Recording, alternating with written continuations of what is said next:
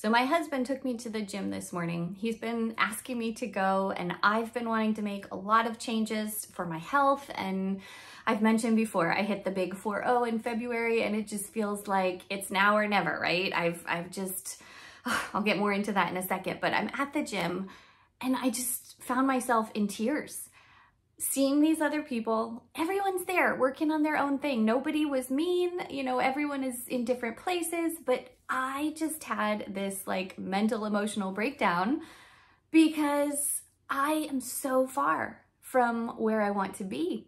And I'm having this moment where I'm realizing or just trying to reconcile how far I have fallen in the last 10 years. I would be so curious to know if you can relate because I think that this is a new form of triage, as I call it. If you're familiar with the pathway to personal development that I teach um, through my coaching and other things, I I really have isolated based on my research and experience and working with many clients that there are typically three main phases of personal development. The first one is what I call triage, where you are just needing to do emergency repair on some situation. You're completely overwhelmed, you're so stressed. This was what I experienced back when I had my first son and I didn't know how I was gonna, you know, pull my life together, come out of my suicidal depressive state, be able to focus, get my work done and balance it all still an elusive mission, right? I never claimed to have it all figured out. But that turned into the transformation phase where you learn to apply systems and routines and, you know, these proven tactics that really help you get your life together and kind of stay on top of it all more or less, especially as long as life is relatively stable. But then of course, life can throw these curveballs at you and you can, can go backwards to the other phase. Um, so it's not a linear one-way process, right? You kind of bounce from phase to phase. But the third phase, the ideal phase, is the triumph phase where you have really determined that you want to put yourself and your passions, right, on the table. You want to go after your goals and you know that taking care of yourself makes you that much stronger and better able to take care of those you love. And so this three stage process, triage, transformation, and triumph, these are the stages of personal development that I coach on and that I have resources to help depending on which phase you are in. Side note, if you are curious about where you are at, I have a free life assessment that I will link for you down below that walks you through signs of uh, kind of where you might be and how to determine what resources and, and proven tactics would help you based on where you are at. So completely free, link in the description. But I had this big wake up call today because here I am realizing that I have not yet come to terms with just how much my life has changed in the last 10 years since I became a mom. If you're familiar with my story, so many big hard things happened 10 years ago. I earned my PhD, I moved across the country, I had my first son, and I started teaching in my tenure track position just two weeks after he was born. And it has been a whirlwind since then. Uh, I just, I've ended up having four kids in seven years and then still trying to work and now run this side business and YouTube channel and all the things that I love. But on top of that, we had the pandemic, totally destroyed my my situation. That was so brutal for my husband and me.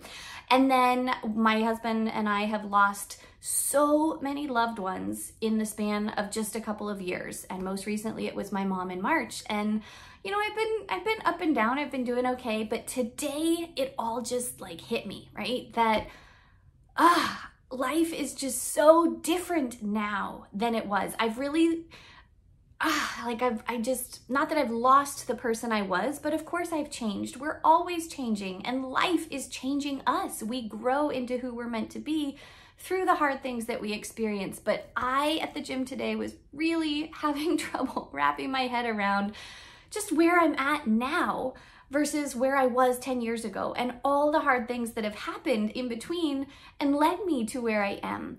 And it's not good or bad, right? There's no wrong place to be. We are exactly where God wants us. But I have so far to go to get to a place that I know I can be.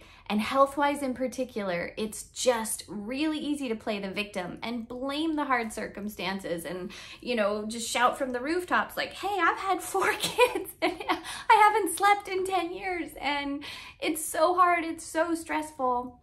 And I was just an emotional wreck. And my husband was so wonderful. He was reminding me that everybody there is working towards something. In his words, no one has arrived yet, right? We're each on our own journeys.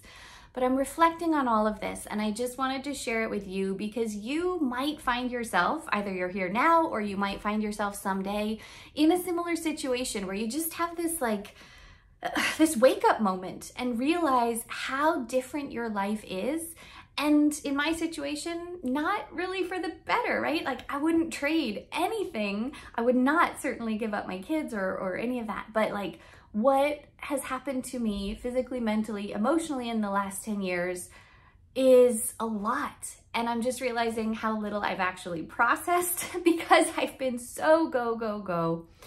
And now this is my new chance to do a new kind of triage and really figure out the foundations, right? From the ground up, how I can build my life moving forward, how I can better prioritize my health, because I've long known I need to do that but there are always other things vying for our attention. And I have totally fallen into that trap of feeling like I got to get my work done or, you know, the kids need me and now they were sick or whatever happened. So I missed out on the work time that I had and I'm perpetually behind. And so my health has just always gone on the back burner you might find yourself in a situation where you, you know, your kids are getting older and you realize that you have totally put yourself and your passions on hold. Many of my coaching clients come to me with this problem where they don't even know who they are anymore because all the things they used to love fell by the wayside when they were so busy caring for their families and their young kids. And now that their kids are older, they're kind of in limbo like, who am I? What do I do with myself now? And how can I really make time for what I love? it's a never ending journey, isn't it? But it's so just awesome in its own way. It's really incredible to me that every day is a new chance to know ourselves better, to become more aware of what we want our lives to look like and to grow into that person, especially working to identify the things that need to change and then break those big changes down into small incremental things, minuscule things that we can do now but need to be consistent with. And that's where I have completely fallen short. I it's really easy to want to just jump right into all the hardest things, right? And prove my strength or prove my worth or just be instantly that supermodel that I'm never going to be. but yeah, I just reconciling where we're at and where we've been and how we got to where we're at. Whew, that's a whole new emotional journey that I am embarking on and if you are there, if you can relate, or if you're curious about the other phases of personal development, please reach out because I love talking about this stuff and it's just so enlightening, right? We're never there. We've never arrived. I hope this helps. Give it a thumbs up if you enjoyed this video. Thank you for watching. I make weekly videos all about productivity, planning, purposeful living, and ways that we can just try and live our best life. Always, always a mission. Never there, but it's it's something I'm working on and I hope to inspire you to do as well. Have a great day.